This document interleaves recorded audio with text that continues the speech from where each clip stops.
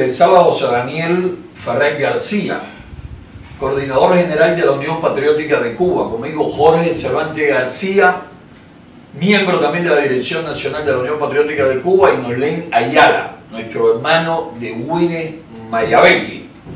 Esto es un pequeño mensaje para, nuestros hermanos todos en Mayabequi y para la población de Wine y de toda la provincia.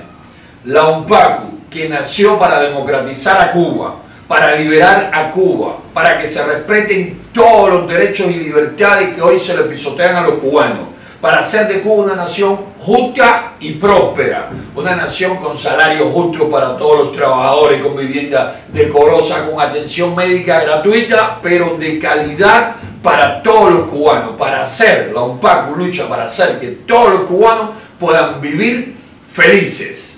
Queremos que llegue nuestro mensaje a Mayabeque, pero con nuestro mensaje también nuestra invitación, nuestra exhortación a que hagamos de la provincia, a que hagamos de Huine, a que hagamos de todo Mayabeque un bastión de esta necesaria causa, de esta necesaria lucha por un futuro mejor para los cubanos.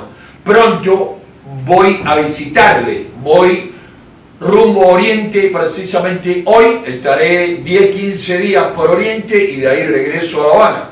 Cuando regrese, tres o cuatro días después de llegar, pienso visitar Winnie. Y ya aprovecho para mandarle también un afectuoso saludo al equipo que allí se me voy a encontrar luchando de manera firme y decidida con nuestro hermano, pero también ya le estoy mandando saludos y diciéndole que me esperen a los esbirros de la policía política. La UPAC va por completo para Wine y para Mayabeque con toda la fuerza que la caracteriza en Oriente.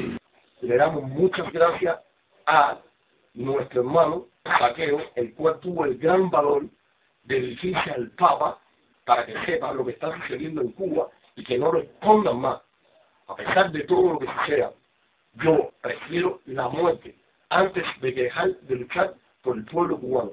La seguridad del Estado, todo, han intentado comprarme en reiteradas ocasiones con grandes sumas de dinero y con otras cosas que para qué es imposible decirse pero eso nunca en la vida. La UNPACO hace un llamado al pueblo de Mayabeque a sumarse por la campaña de la liberación de los presos políticos, presos políticos los cuales se encuentran en huelga de hambre exigiendo su liberación y porque están inconformes con el encarcelamiento injusto por el régimen castrista, les ha hecho simplemente por el pensar diferente, por luchar por el respeto a los derechos humanos y por la libertad y la democracia de Cuba. Mayabeque, la UNPACO te incita, te da el ánimo, te invita a luchar por la libertad y porque Cuba sea libre y democrática.